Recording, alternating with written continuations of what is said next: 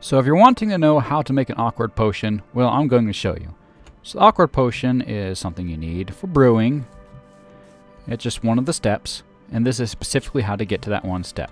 So let's go ahead and start. We're going to make or put down our brewing stand, just anywhere.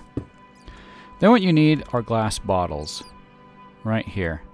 If you want to know how to make them, I'll show you real quick. Real quick. Alright, let's be fast. See? Boom, boom, boom that V shape. That gives you glass bottles. Good God. Okay. Now let's go ahead and fill them up with water.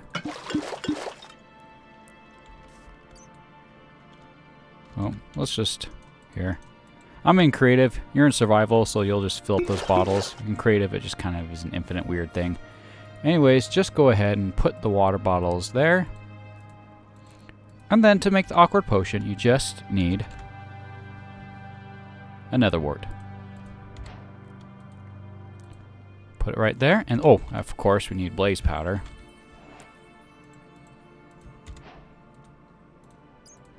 Okay.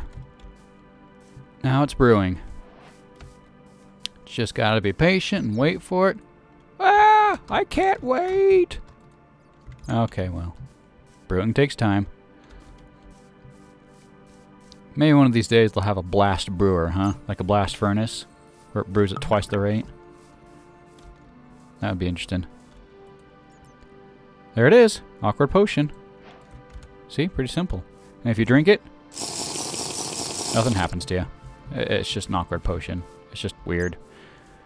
But, I mean, from there, that's when you go to put your special ingredients in. Like, if you did a puffer fish,